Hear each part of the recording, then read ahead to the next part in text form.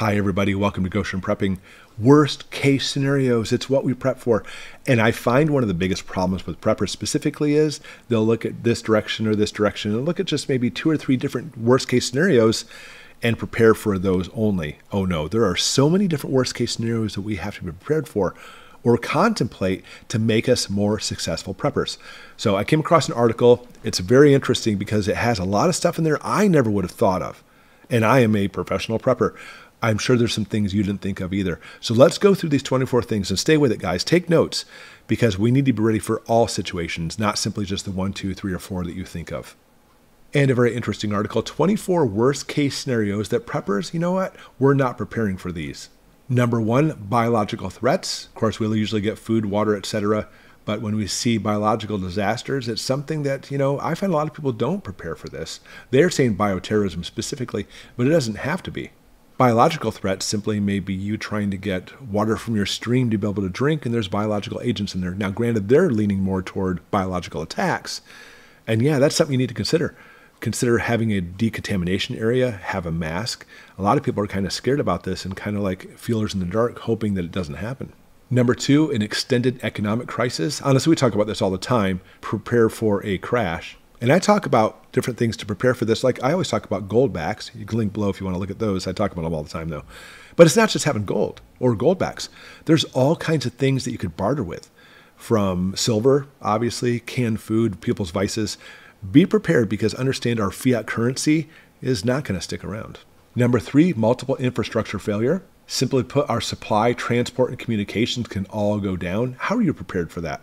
Do you have enough water? Do you have enough food? Do you have all those things in case our transportation infrastructure disappears or grocery stores have no food anymore, how will you fare? An EMP attack, we've certainly talked about this quite a bit. Do you have a Faraday cage? Are you prepared in case literally the EMPs take out all your power? You know, we have solar generators. I have these giant, what are called Mango solar power generators that can literally power my entire home.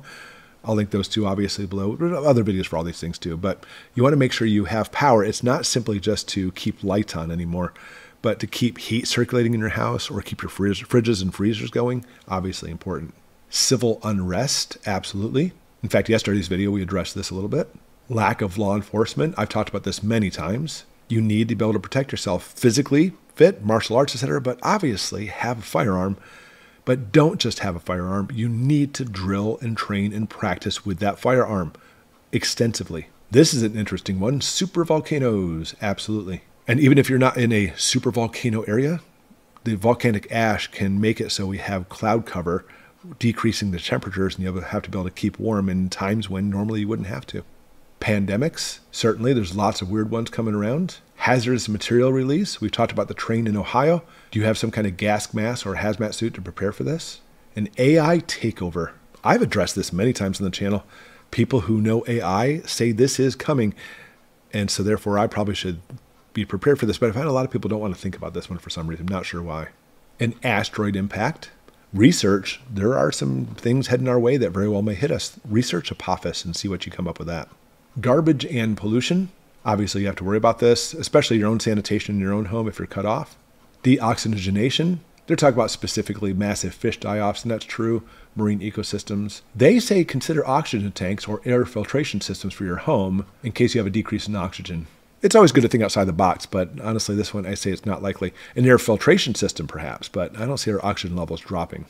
A gamma ray burst. Prepare for this one. How? You can't. You will fry. So, you know what? Just ignore this one. Polar shifts. Oh, this is actually happening, by the way. Our poles are shifting. This is not hyperbole or speculation. They are. It's the ramifications of that shifting is what's up for question. Lots of channels, people talk about this. I always say to prepare as best you can by prepping but always take it with a grain of salt when a lot of these channels say that it's going to be nothing but catastrophe. I'm not sure if that's the case or not. I don't think any of us really know. Violent gangs, for certain. For certain, for certain, you want to make sure you prepare for this because the gangs are not simply just you being out in town, you know, trying to stay in the shadows or be gray, men. They may be coming to your home. Lots of problems with this. So people get hungry, and when people get hungry, they get violent. So gangs, a very real possibility. An alien invasion. And I don't think they're talking about like illegal aliens coming up. And people have given me such a hard time by having some alien stuff up there. This is from a show called The X Files. This is something I got for my birthday. Guys, we're not turning Goshen prepping into an alien channel. It's just fun green lights. Calm down. But as far as alien invasion, you know, if we want to consider all possibilities, it is a very real possibility. Lots of stars out there. I'm sure there's probably life on those other stars too. And maybe they like corned beef hash just as much as we do. Your polar ice caps melting, it's certainly something to consider. It will make some areas along the coast go underwater, that's for sure. Wildfires, we certainly need to look at this one, especially like for us, we live out in the middle of a forest, in the middle of nowhere. Wildfires is a very real possibility.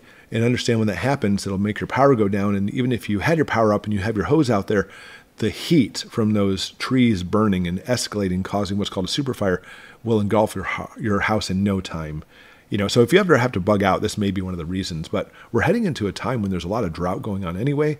Wildfires will probably be on the increase, something to think about. Extreme weather events, always something to look at. Even in your area, make sure you know what kind of weather events can take place where you're at. Prolonged isolation. I know there's a lot of lone wolf preppers out there. This guy is not one of them. I am such an extrovert. I love people. I have to have people. And honestly, this is my nightmare scenario. I do not like isolation. How about you?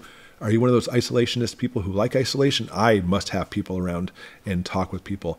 And for me, if my entire family died off and were killed, I'd be like, I have no reason to keep prepping because I prep for my family. I don't know. Maybe that's just me, but I'd like to see what you think about that. Soil degradation. Obviously, we have problems with drought and farming, not to mention our food supply is under attack anyway, so that's something that will certainly make it so our food has become very insecure. Nuclear disasters. Yeah, that's something we talk about all the time. I'll link after this my nuclear prepping series. It has lots of true you know, no wives' tales, expert advice on how to prepare nuclear wise. Something to look at. I'll link after this video. And finally, cyber attacks. Also a very real possibility. And it's a very real possibility. If you look at the majority of things we just talked about, cyber attacks can do this.